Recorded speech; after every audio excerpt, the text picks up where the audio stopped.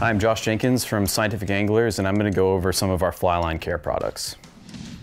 This is our Flyline dressing. It's sold in combination with one of our cleaning pads. This overcoat is there to reduce friction and make the line slicker, so this will allow you to shoot further. It's also hydrophobic, so the line will float a little higher than a dry line. We do not recommend its use with AST or AST Plus lines, however.